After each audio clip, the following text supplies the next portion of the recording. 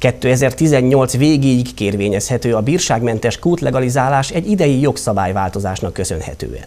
A fennmaradási engedélyt azok a tulajdonosok kérhetik a jegyzőnél vagy a katasztrófavédelemnél, akik 2016. június 4 előtt engedély nélkül létesítettek kertikutat. A jegyzőnél akkor indítható meg az eljárás, hogyha ez saját tulajdonú területen van, nem gazdasági célú, évi 500 köbmétert nem halad meg tulajdonképpen a, a vízkivétel, illetve a talajvízkészlet felhasználásával történik. Tehát ebben az esetben a jegyzőnél kell kezdeményezni az eljárást. Hogyha az előbb említett feltételek közül bármelyik hiányzik, akkor már a megyei katasztrófavédelmi igazgatóságnál indítható meg ez az eljárás. Fontos azt azonban hangsúlyoznunk, hogy tulajdonképpen itt is ö, nem mentesülnek az ügyfelek az alól, hogy azokat a műszaki dokumentációkat, amelyeket eredetileg is kellett volna ugye a, a kút létesítéséhez csatolni, csatolják.